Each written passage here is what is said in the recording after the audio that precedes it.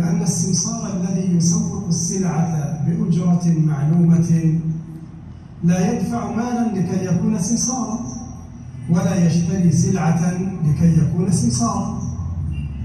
وهذه الشركات تشترط أن يشتري سلعة ليكون سمسارا.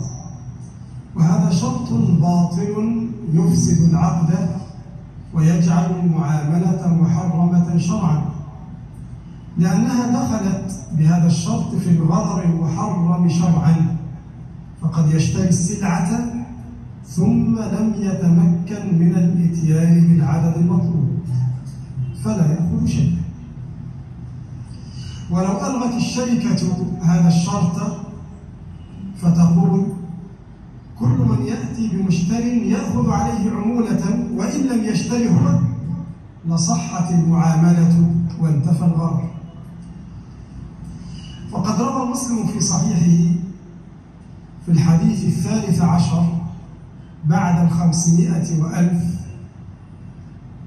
عن أبي هريرة رضي الله عنه قال قال رسول الله صلى الله عليه وسلم نهى رسول الله صلى الله عليه وسلم عن بيع الغرر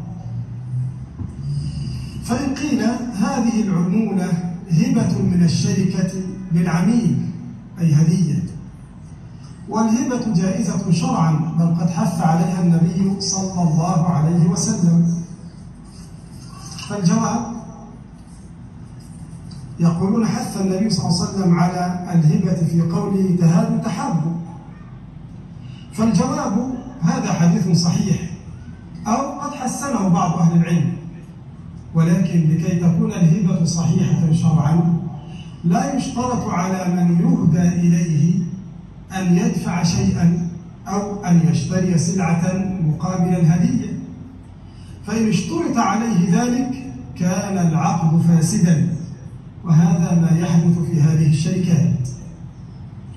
فإن قيل هذه وكالة بأجر وهذه المعاملة صحيحة شرعا فالجواب نعم الوكالة بأجر صحيحة شرعا.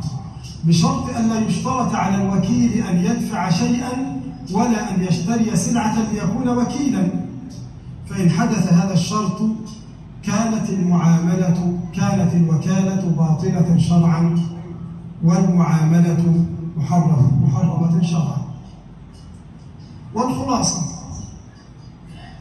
لكي يكون عمل هذه الشركات المذكورة صحيحا فعليهم بأمرين.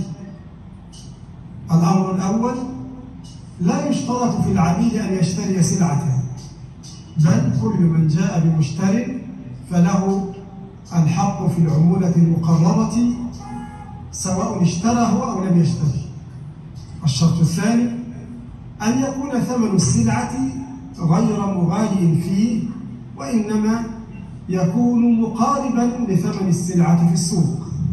بهذين الشرطين فقط تتحول هذه الشركات إلى شركات حلال شرعا.